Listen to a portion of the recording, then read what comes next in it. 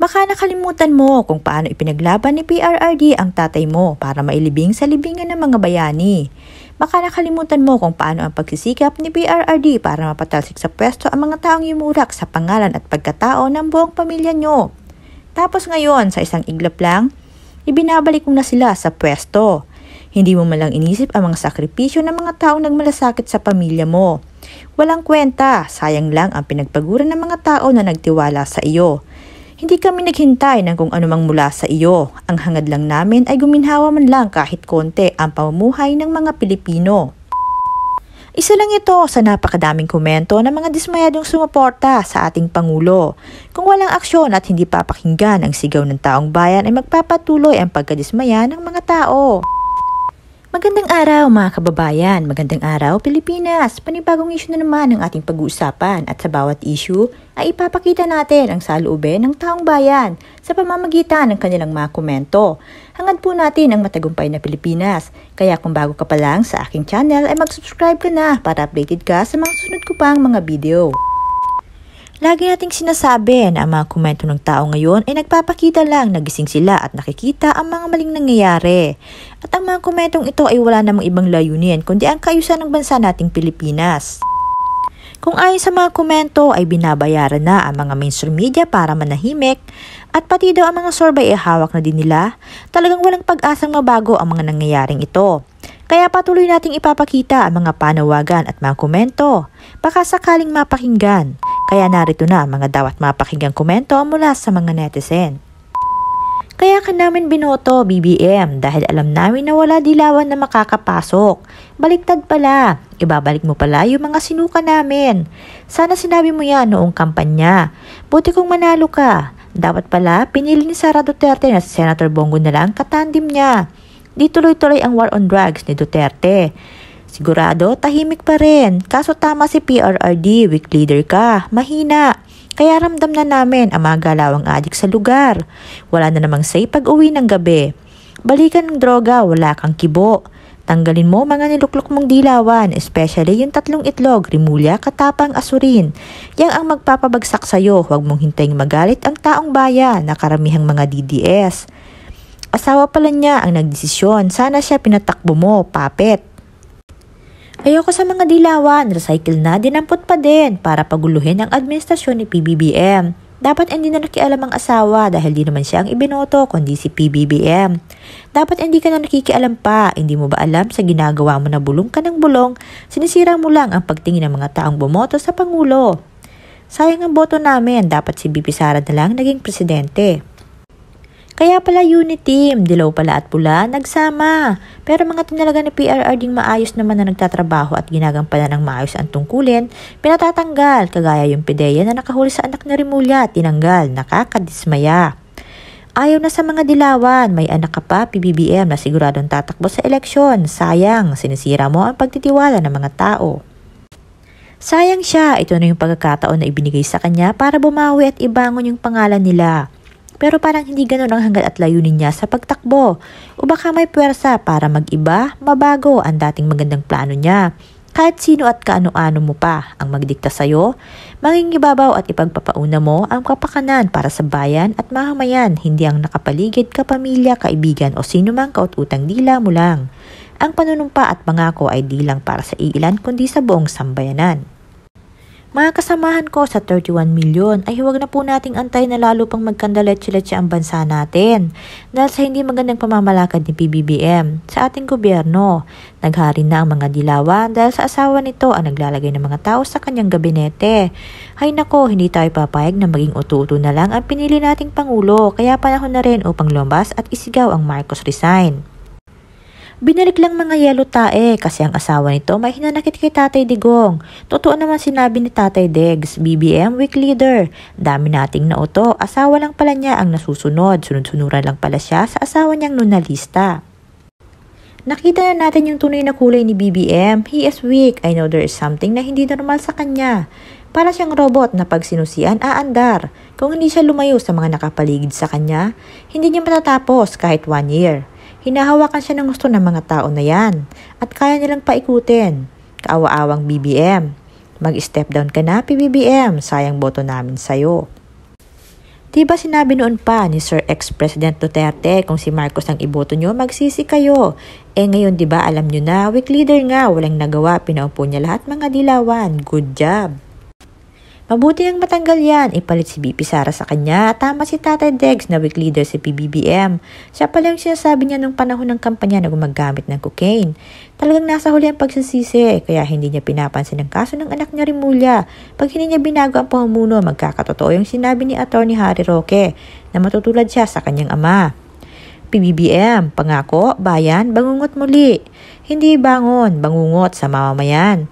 Pangarap niya, Kanila lang, pangarap niya para sa atin, tae-taen niya pala.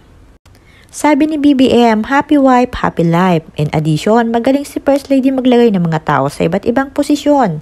Walang kwenta, pananawagan ng mga botante ni PBBM kasi nakaupo na siya. Huwag na kayong mag-asa.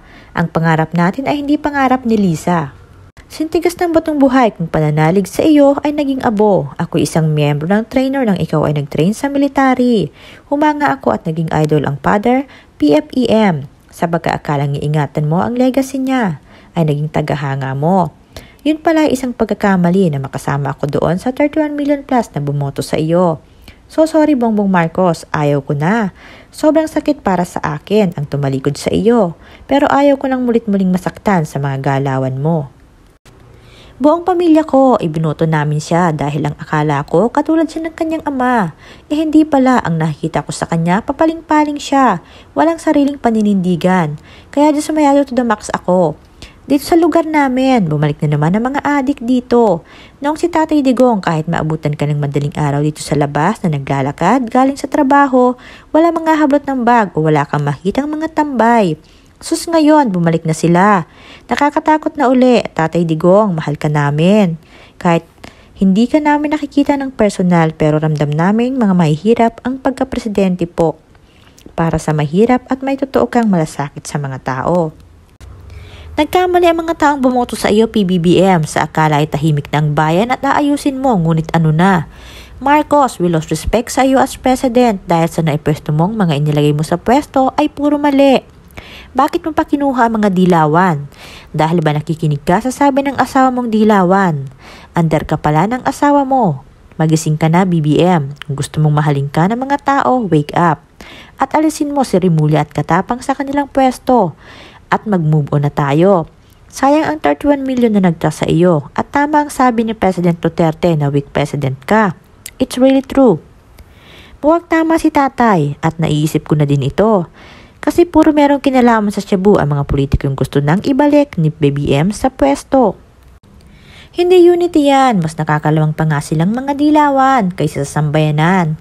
Halos lahat sila ang pinapapaboran ng mag-asawang Marcos, kaya ang lakas ng loob nila ngayon. Sunod, halos lahat na puro mga dilawan hahawak sa gobyerno nila. Kawawa na naman ang gulo ng Pinas. Yan ba pangakong babangon? Papunta, bulagsak yung mga mali. Tama para sa kanila na mabuhay ang mga drug lord at CPP-NPA komunista. Pati survey hawak nila ngayon kahit saang page ka magbasa ng majorities ay dismayado. True, pati ang tao sa grounds ibang sinasabi. Ang daming drivers, dismayado na talaga. Yung Octa Research, kinukul out namin yan dati during campaign dahil sila lang yung iba ang result ng survey. Ang baba ni Sara, halatang halata ang galawan nila. Nationwide rally kung hindi magising o ayaw makinig si PBBM. Go for people powers. Hindi ba ito ang nagpatalsik sa kanila noon? Back time. Go for it. Go for it. BP Sara is capable to take over his position. Start organizing para sa rally to show sa madla ng mga tao ay hindi pabor sa decision making ni PBBM. Hindi equal ang treatment sa mga tao. I feel so sorry for General Bantag sa nangyari sa kanya. Disgusting. People power na. Pag pinatagal pa natin, tiyak mapupuno ng mga dilawan ang gobyerno. Lugmok na nga tayo ngayon, lalo pa tayong babaon ng babaon sa putik. 31 milyon, kumilos na tayo, tama ang hula. Babae ang magiging presidente sa katauhan ng First Lady, nabudol tayo. Yung matandang Marcos, firing squad yung Chinese drug lord, pero si PBBM tanggal agad sa pwesto yung nakahuli ng drug lord na anak ng appointed niya. Naging PBBM na siya, pipibulag bingi at manhid. He is a weak leader talaga, walang sariling paninindigan, nakakabwisit. Let us join together para patalsikin si BBM at ipalit natin si Iron Lady, BBM Day Sara. Sayang ang pagiging Marcos panatiko, BBM, ano di kayata ah. Sayang na sayang ka talaga, balik droga na naman. Sasama ako sampu ng aking pamilya. Maka Marcos ako, die hard, pero meron akong nakitang mali. Kaya anumang oras bibitaw sa mga Marcoses at kung pwede lahat ng mga kamag-anak ko, hihilahin ko. Tuloy mo lang pag-appoint ng mga dilawan BBM at ahas sa likod mo nang makita mo resulta. Hindi asawa mo nagpanalo sa'yo kundi kaming mga DDS nang dahil kay Inday Sara kaya binoto ka namin pero naging traitor ka na rin ng bansa. Dahil dilawan ang gusto mo. Sorry ka na lang BBM, mag people power na lang kami. Eh kasi hinahabol lang ni PBBM makuha nila mga ginto sa bangko, hindi ang pagmamahal sa bansa. Taong bayan nagluklok sa'yo kaya dapat mag-isip ka. Hindi manghihinayang ang 31 milyon na mag-people power uli. At huwag hayaan ang asawa mo ang magmanipula sa'yo. Dahil yan marami kamag-anak na dilawan. Akala namin ikaw ang sunod kay Tatay Digong sa mga yapak. Unahin ang mga presyo ng bilihin. Lahat ng problema sa bansa ay matutulad dahil ang talino mo, mangako. Pero paano na wala ka pang nagagawa sa bansa? Kaya taong bayan, nagagalit na. Mag-isip-isip ka, hindi pa huli ang lahat. Binalahura for 36 years, pinersecute at binaboy ang imahe ng pamilya niya. Tapos mga dilawan at oligarchs lang makikinabang sa second chance na binigay sa kanya. Weak talaga si BBM, di man lang niya nabigyan ng justice mga magulang niya. Pro Marcos din sila kay Apo Lakay pero pumupuna kay PBBM. Mas pairalin po natin ang pagiging pro-Pilipino kaysa pagiging panatiko. Pag merong magandang ginawa, purihin. Pag merong maling ginawa, punahin. Ano ang masasabi mo sa isyong ito? Just comment below at ilike mo na rin kung nagustuhan mo ang ating isyong tinalakay. At syempre, huwag kalimutang mag-subscribe. Maraming salamat sa panonood. Mahalin po natin ang Pilipinas.